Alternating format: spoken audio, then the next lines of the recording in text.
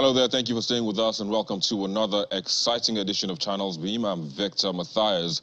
Now, the price of Bitcoin has been dropping sharply over recent months due to major turbulence in cryptocurrency markets, reaching a major break lower from the range and benchmark crypto had been since early May. Now, this edition of the program will try to find out the cause behind the plummeting prices, the possibilities of it bouncing back, and the prospects of indigenous cryptocurrencies as replacement for the global ones. But before before we get into all of that, let's first see what made the headlines on social media in the past week.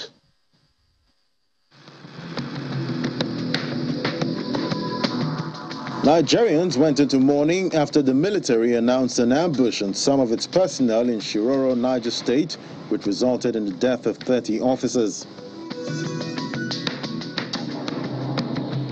However, in the same vein, they express anger over alleged non-retaliation from the military as they await justice for the perpetrators of the dastardly act. Well, there was something to cheer about as Israel Adesanya outpointed Jared Cannonier via a unanimous decision to retain his middleweight title in the main event of the Ultimate Fighting Championship. UFC 276. In a clinical, albeit unspectacular performance, Adesanya's superiority in striking was evident throughout the bout on Saturday at the T-Mobile Arena in Las Vegas, USA.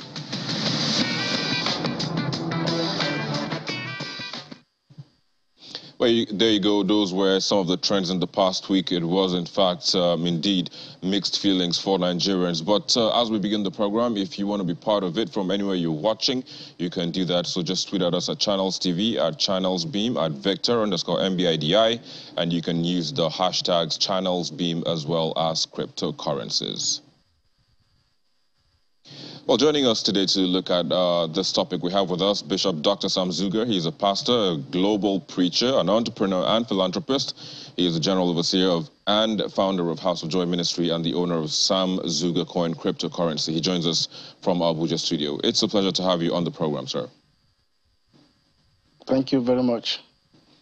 Indeed. So, pretty much, uh, what, what's going on? I mean, we've seen prices of cryptocurrency, you know, um, actually hovering in the past few months. What actually is going on in that space? Uh, thank you very much. The first thing is that um, in cryptocurrency, we have two tribes. And uh, the two tribes are the people that believe and the people that disbelieve the people that have faith and people that have fear. People that want, uh, that have, that see, uh, have a future in mind, and the people that have the now in mind. So these two tribes decide what takes place per time in the cryptocurrency space. The people that have faith, they, what they do is the people that have fear come to the market, and when they see that something will happen, which even has not happened yet, then they come with the fear and begin to place sales orders that are lesser than the current market value. So on an exchange, the moment you place a sell order uh, less than the existing order, the person that bought it at that particular level half uh, uh, the price. So when people uh, watch what was happening between Russia and Ukraine, everybody just believed that the whole thing is going to have effect on cryptocurrencies. So the people, the, the, the, the, tribe of fear now started placing orders. And then the tribe of faith will now buy at that level. So you discover that what happened in cryptocurrency is not magic, it's human beings that drives it. So if the market is dropping, it means that people are selling at a cheaper rate. If the market is rising, it means that people are buying. So it's buy and sell that goes on at every exchange. So if there's the people of fear dominate the market, the market will drop. You discover that at any given time, people are still buying. So the people that are afraid are selling, and the people that have faith are buying. So by the time the people of fear step out of the market and the people of faith dominate the market, the price begin to go. So there's nothing so spectacular about the drop in price. It's uh, cryptocurrency operators themselves does that. They have the capacity to mm. grow the market and they have the capacity to drop the market. Yeah, because uh, you know, like you said, um, you know, those with the faith, you know, with faith actually buy when you know um, people are selling. That so we hear this term "buy the dip," "buy the dip," and you know, I mean, as much faith as you as one would have, uh, if if you're buying the dip and you know it keeps going, it keeps dipping rather. Uh, you know, how long would your faith? How long would your faith hold you? you know, to to retain your your your your, currency or your crypto, you know, you know, in the space. Okay, uh, when you was introducing me, you say I am the founder of uh, Zuga Coin, which is an yeah. indigenous cryptocurrency. So the slogan of Zuga Coin is the future of money and money of the future. So if you want to step into anything, the first thing is for you to know the reason why you are stepping in. So cryptocurrency is an emerging project. It's not yet stabilized. So if you are, top, you are stepping into cryptocurrency with a futuristic approach, then no matter the dip, you keep, you keep buying because no matter what happens, at later time, what you are, what the, the, the dip is coming to rise. So if you have future, future as your project, uh, your projection. You will not be afraid of any dip. But if you need it now, automatically you will you'll be afraid. So my own advice to all cryptocurrency operators is this project has come to stay and it's going to save us from the hurdles of financial crisis. So the best thing for any crypto trader or crypto investor is to ensure that you get into crypto not with the uh, get rich quick syndrome, but you are getting into crypto because you want to, to, to, to establish your financial base and then, and then set your goals according to uh, how you project your own future. So the Jeep is just taking advantage of the, the, the tribe of fear. So no matter how deep it is, it is still there's still serious hope ahead. So uh, it's only two tribes that operate there. So I believe people that want to see the future, they will enjoy cryptocurrency. People that want to get it now, now, they will fail. That one is normal. uh, well, so it's good you made mention of indigenous, um, you know, you know, cryptos, and I'm looking at, you know, uh, we are beginning to have indigenous cryptocurrencies here and there, and of course, Zuga Coin is one of them. Uh, but what are the prospects, you know, of indigenous um, uh, um, uh, coins, you know, getting that global respect and even value, you know, compared to the ones that we have currently? Yeah, I will talk so much about uh, Zuga coin because that is what I know. Uh, but I, I know very well that uh, Zuga coin is not just one of the uh, indigenous cryptocurrencies. It's the first of uh, the first cryptocurrency in the Afri- in Africa. So it's not one of them. Is any other one that can be one of them, but Zuga coin is the first in Africa. And the reason why uh, uh, Zuga coin is going to, to override the rest of the cryptocurrencies is number one, uh, major uh, cryptocurrencies that we have seen before, all of them are anonymous. Operators are anonymous. So being anonymous shows that the people that started are not sure of where they are going. That is why they are hiding themselves. And uh, me, when I stepped in, the first thing I did was to put my face on the logo of, of Zuga Coin. And then if you look at Zuga, Zuga Coin, it means that it's my surname that is on the coin. So my name is there.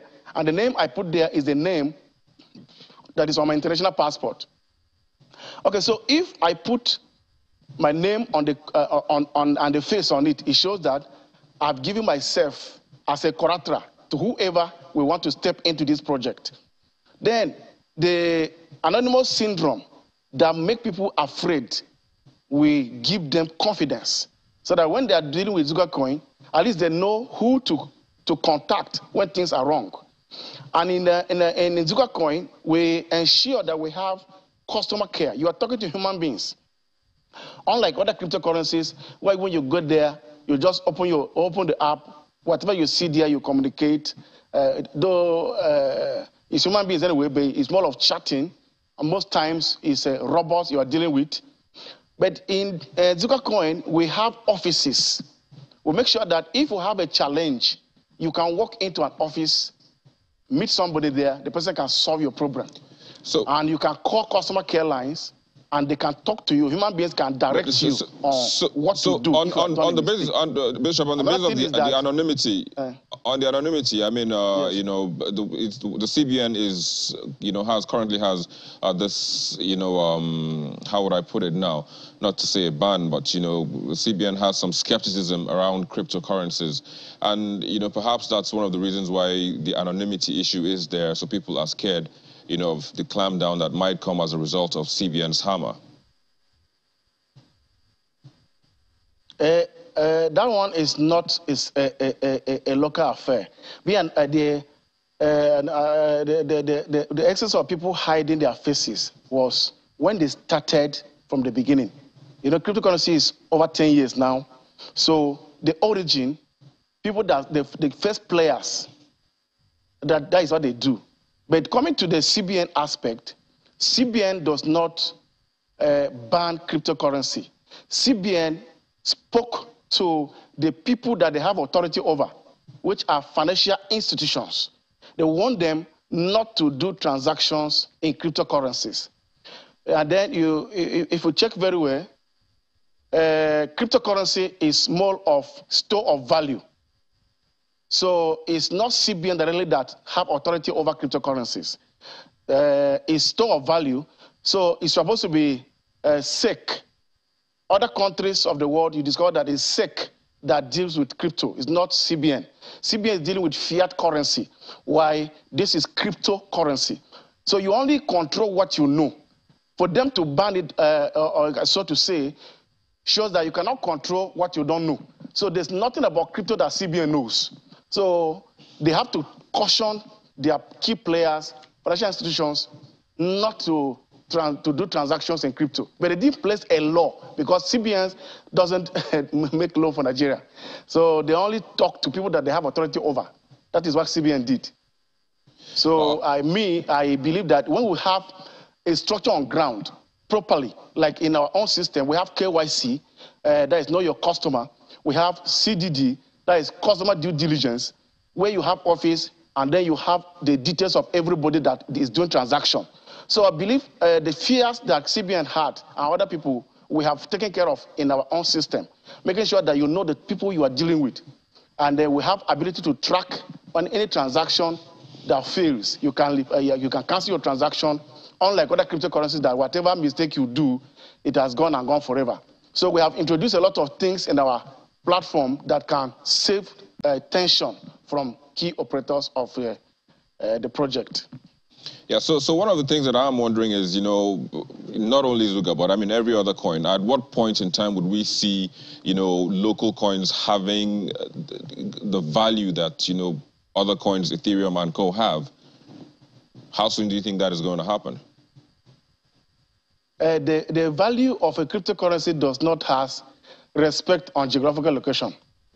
Like now, if you call it crypt, uh, uh, local, indigenous, uh, indigenous is uh, uh, like me now that came to put my face, and people know me as a Nigerian. But on general note, you can't know that this person that is doing crypto is coming from this particular uh, part of the world. What makes crypto crypto is this, the global standard that have been set already. It's just like if I want to buy a land in let's say Victoria Island in, uh, uh, in Lagos. And then, or let's, let's mention a particular uh, estate. When you go to that estate, there is a standard of sales in that particular estate. So you buy the land according to the value that has been set. And if, if you want to build, you have to design it according to the design that has been set already in that particular estate. And then there are people, authorities that, that are going to evaluate all the materials you are going to use and the, the plan must be approved by the approving authorities. So that is how in cryptocurrency, you operate. There's nothing like fake crypto, there's nothing like substandard.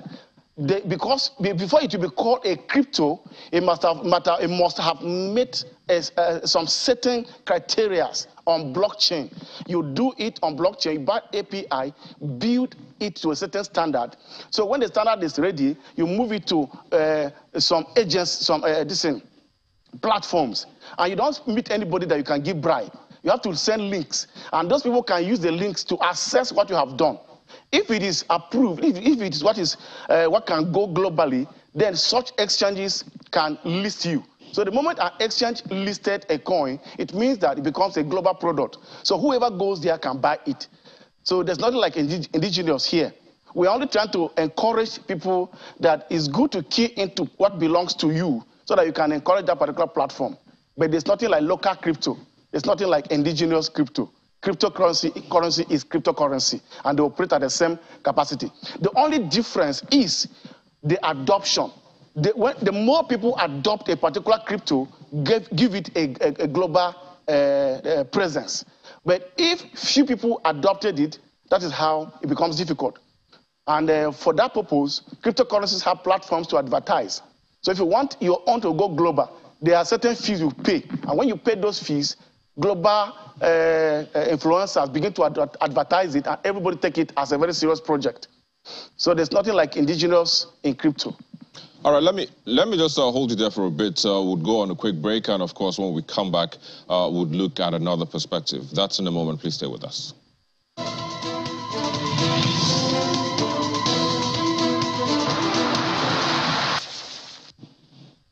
Thank you for staying with us. We still have with us um, in the Abuja studio the CEO of Zuga Coin, uh, Bishop Sam Zuga, speaking about cryptocurrencies in the country and also globally as well. So, um, uh, Bishop, let me let me let's look at it from the point of the digital economy. You know, one of the things that this government has you know been trying to push lately, uh, you know, is the digital economy. We can go on and on about how the digital economy has you know contributed to the economy of the country, but you know, how would you say that you know, the crypto part of all of this, you know, is, is making its contribution? Uh, if you look at uh, cryptocurrency, it, it, it has come to save a lot of challenges in the economy. You know, economy is not just about uh, cash. It's about uh, total well-being and living of humanity. So if uh, federal government of Nigeria has not uh, looked at uh, cryptocurrency somehow, I believe by now would have been very, very far because even though there are some challenges that cryptocurrency operators are facing, because it's like many, many people are hiding, and then people that are supposed to be part of it are afraid because of uh, some of the challenges that uh, associate with the operator, uh, operation of cryptocurrency, uh, cryptocurrency in Nigeria. But I want to tell you that many young people are living fine now because they are operating cryptocurrencies. And to me, the little time that God has helped me to start this project, I know how many people that were living below $1 per day or one dollar generally. But today they have their they have built their houses, some driving their cars, paying their children's school fees, living large. So if government will turn full eye into cryptocurrency, cryptocurrency can contribute 90% of the economy of Nigeria. Like for instance, in Zuga Coin, we have a platform where we are going to give, or we have started giving uh, $2,000 to every Nigerian above uh, 18 years. And that project is going to be launched officially or flag off officially tomorrow. When every person in Africa that is above, to, uh, above 18 years will be given $2,000 uh, worth of Zuga coin to start life with. So if that project happened to go all over Africa, you just discover that everybody in Africa that will go to, for, uh, to, for that project will be living above $2,000 because cryptocurrency grows when people, when many people are coming in. So we believe that if Nigeria will look at it as not just something that people can use for money laundering, you know, every, everything has advantages and disadvantages. I, so I, I was actually Nigeria can look at the advantages of cryptocurrency. Yeah. They will discover that there's, there's so much in crypto to add on digital economy. Yeah, because I was coming to the security. I was, I was, yes. I was coming to the security of it because we know that you know in times past, uh, some some kidnappers even made request, you know, that they be paid their ransom in cryptocurrency. So that is also one of the, you know, things that I'm sure you know the CBN and the federal government are looking at, you know, as they have the skepticism towards the the, the cryptocurrency. So how do we bridge that gap? How do we go beyond issues like this? Uh, you see, uh, I'm laughing because cryptocurrency came to be in 2009. Uh, January 5th, that is when it was launched for the first time in human history. And it took more than five years for cryptocurrency to be accepted before it came to Nigeria in 2018. That is when the, the, the CEO of Binance came to, to establish his uh, uh, exchange in Nigeria. 2018, 2017 skeptically, but much, the uh, full blown of cryptocurrency uh, was in 2018. So are we saying that uh, before the advent of cryptocurrency, there was no uh, money laundering in Nigeria?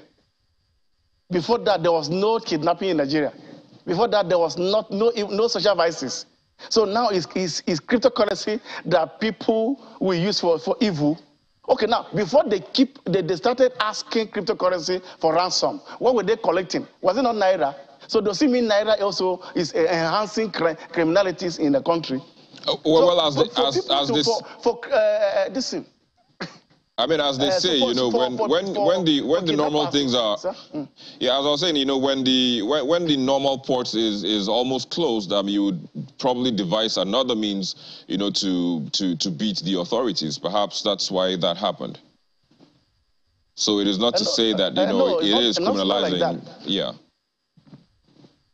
The reason why people will go for cryptocurrencies is because any cryptocurrency that have crowd keep growing and people make profit. You know, people, some people are in, in crypto for trading. So if you are doing uh, crypto on daily basis, you are making money.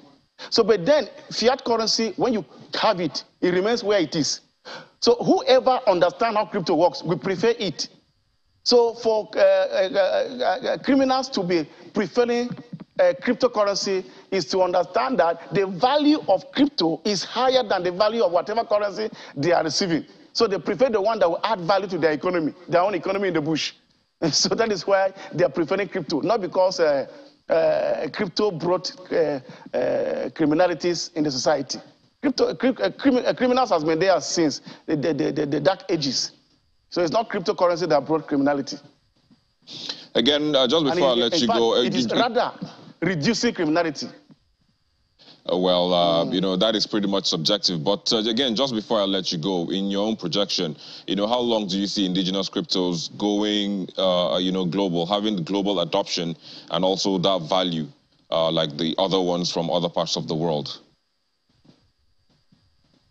Uh, particularly Zuga Coin, before the end of 2022, you hear that Zuga Coin is taken over because some platforms that were put in place, many other cryptocurrency do, uh, uh, currency doesn't have.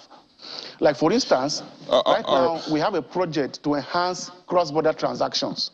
So the moment uh, the whole world begin to use Zuga Coin to do cross-border transactions, you discover that people traveling to China to buy goods, people going to America to buy goods, you can sit at the comfort of your house and then do a, a scan in less than 30 uh, seconds, all right. person from the other part of the world okay. collect your money and then release your goods. So we all are right. believing this, this that a... when the, the, the, new platform that we have introduced, when they, when they come to play, cryptocurrency Kozuka coin, which happens to come from Nigeria and Africa, this will is, be leading other cryptocurrencies globally. This is a good point to, to, to end the conversation, Bishop. Thank you so very much for joining us today on the show and, uh, of course, sharing your thoughts on this. Thank you very much. Of course, you're welcome. Well, that's where we are on the crypto issue. And of course, uh, all of that that was said on the program is not the views of Channel Television. It is the view of Bishop Dr. Sam Zuga. But um, of course, moving forward, we'll leave you now on the show. It's a wrap on the show, and we'll leave you with the most viewed videos on our YouTube channel in the past week.